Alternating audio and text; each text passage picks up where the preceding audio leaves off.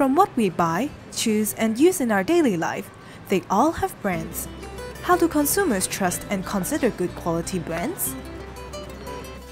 For cars, I would say a Saturn since that's what I have right now. So my favorite brand for food in this case would be Whole Foods. And I chose a Saturn because I looked at reviews and they're compared to the Honda a lot of times, but I honestly feel like they're way more reliable and they don't get stolen as much. Whole Foods really gives good recipes, for example, really tries to put out the best new brands, the best local area, local foods for. And sometimes when they give us tastes for samples, those are always very well appreciated.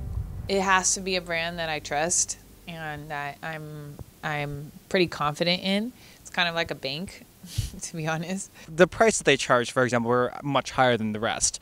But then when you start to walk in and see what kind of experience and customer experience the store itself offers, both giving you a well-designed area, well-lit, in addition to well-chosen design decorations and well-placed food, for example, that they actually gave care in every small detail. Customers develop trust not only with reliable, high quality service and safety, but how much care they received.